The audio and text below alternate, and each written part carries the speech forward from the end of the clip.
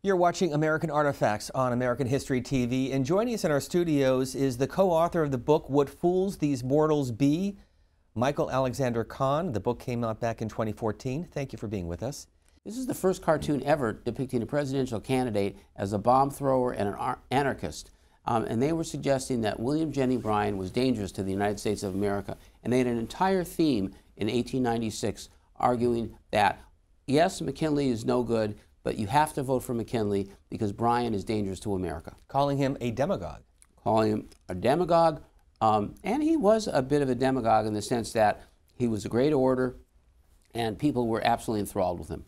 And William Jennings Bryan back on the ballot in 1900. Yes. Uh, William Jennings Bryan was the gift that keep on giving to the Republicans.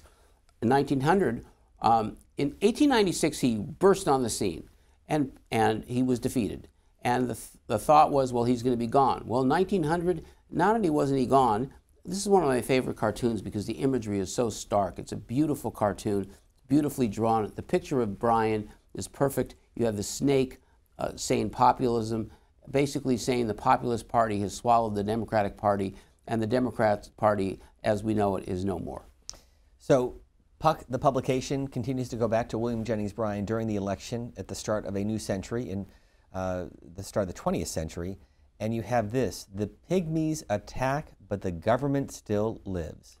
Right, and so here the, the victory of the Republican Party over Puck is complete.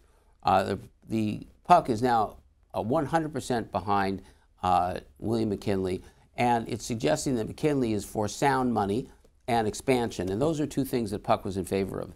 Uh, sound money being they were against silver, they were in favor of the gold standard, and expansion being uh, this was the time of the uh, Spanish American War and other conquests, and the idea here being that McKinley was in favor of America keeping their conquests, and that's what we should be doing.